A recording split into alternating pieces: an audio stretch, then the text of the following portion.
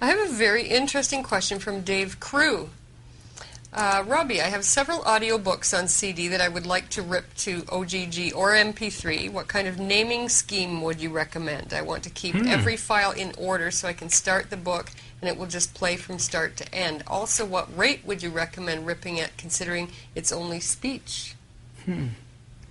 That's definitely an interesting question. Mm-hmm. We're not asking about how to rip or Mm-hmm. you know what program to use. We're just how would we scheme. name this this stuff? And mm-hmm. it's a it's a good question because you've mm-hmm. got these audiobooks on CD.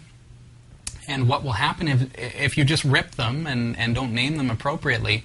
Uh, you could put them in your MP3 player and hit play, and you've got chapter one, chapter six, hmm. chapter two, chapter four, and you can't listen to that because it's all over the place. Not on random, but it's your MP3 player might not know what order to play them in.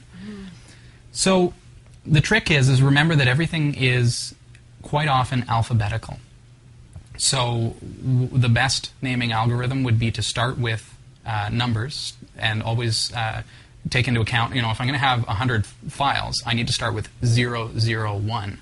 Uh, that's going to be the, the start of the file name. And then from there, it's got to be um, it's got to be a name that's going to match each file. So let's say that the audiobook is, you know, whatever the name of the book is. So 001 space dash space the book dot mp3.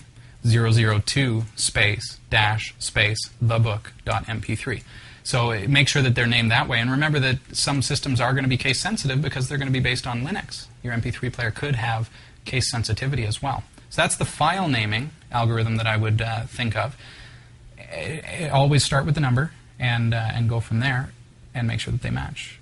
But then you also have to think about the ID ID3 tags because a lot of MP3 players are going to actually sort by the tags. So there's there are hidden fields in the MP3 file that actually tell it the track number.